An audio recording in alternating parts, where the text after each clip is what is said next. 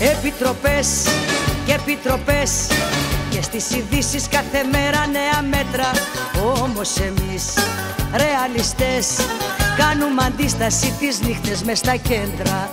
Με ουίσκι, τσιφτετέλια και λουλούδο πόλεμο και να γίνεται η πίστα σαν Ιράκ εμπολέμο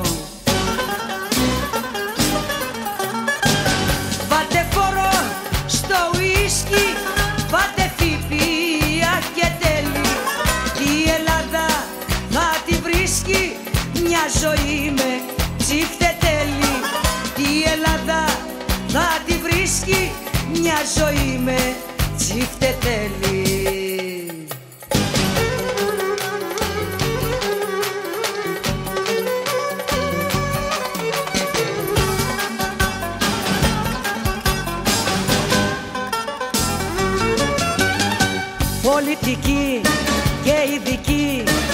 Μας μιλάνε για λιτότητα και κρίση Ό,τι κι αν πούν εμείς εκεί Κι ο υπουργός σας ένα ψάχνει για τη λύση. Με ουίσκι, τσιφτετέλια και λουλούδο πολέμο.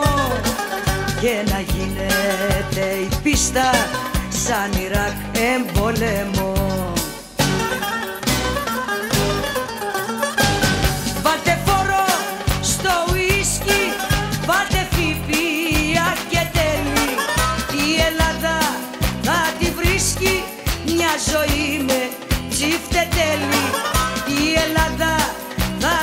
βρίσκει μια ζωή με τσίφτε τέλει